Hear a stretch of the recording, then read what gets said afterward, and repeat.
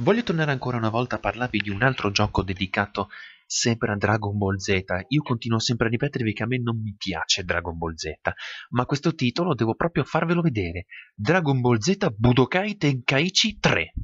Lo vediamo per PlayStation 2. Io se devo essere sincero, una storia non l'ho proprio notata all'interno di questo gioco.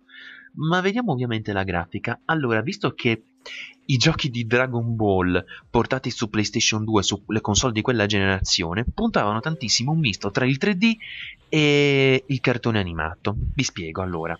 Abbiamo le ambientazioni che sono realizzate in un motore grafico tridimensionale che, se devo essere sincero, è così così praticamente, perché noto che le texture non sono sempre tutte quante pulite e definite.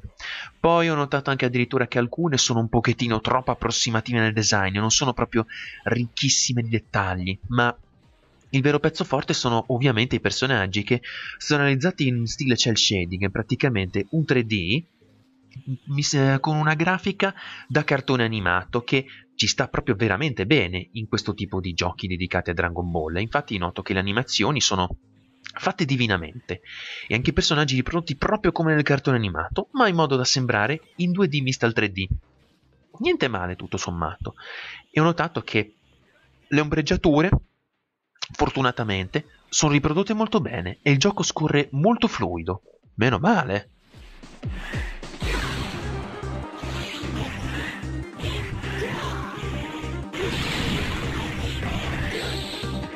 Sonoro devo dire che abbiamo gli effetti sonori che sono tutti estrapolati dall'anime oltre a qualcosa di nuovo che devo dire che ci stanno perfettamente, come la tradizione. Poi abbiamo anche addirittura musiche di sottofondo che sfociano nel rock un po' più giapponese, che tutto sommato ci stanno alla grande. Poi il doppiaggio in lingua inglese, devo dire che non è male, anche se preferisco quello originale giapponese.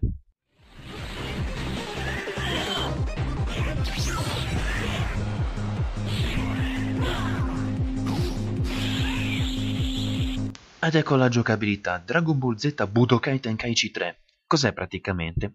Un picchiaduro a incontri.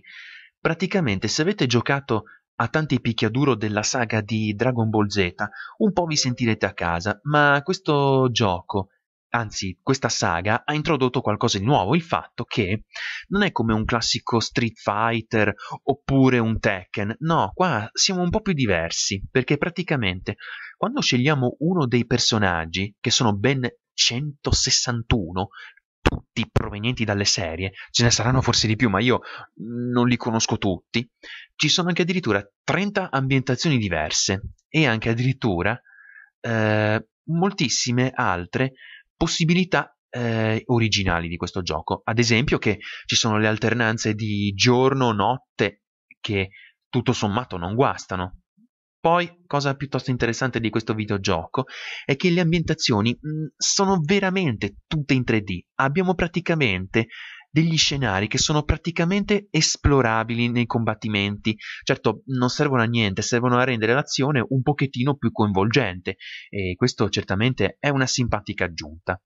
Poi un'altra cosa interessante che hanno introdotto all'interno di questo gioco sarebbe la Battle Replay Mode che vi consente di salvare gli incontri più spettacolari. Poi la visuale della telecamera non è laterale, ovviamente, come avete potuto notare, è dietro le spalle del personaggio, principalmente, leggermente angolata verso l'alto e verso il basso. E potete scegliere anche voi il tipo di distanza.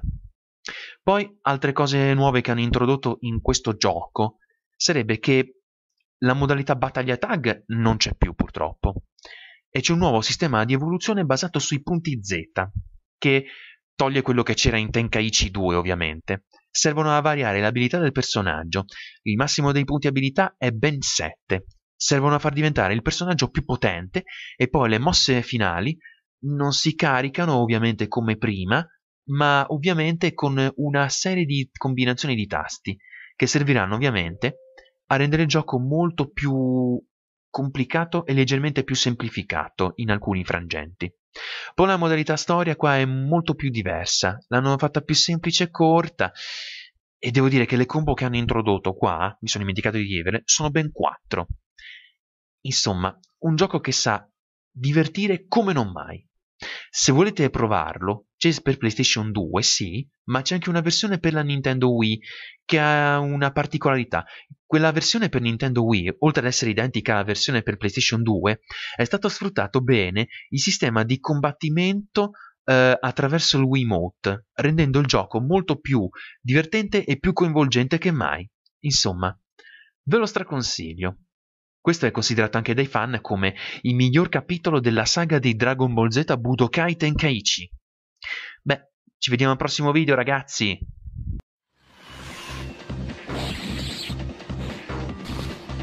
Share your energy with me! Share your energy with me!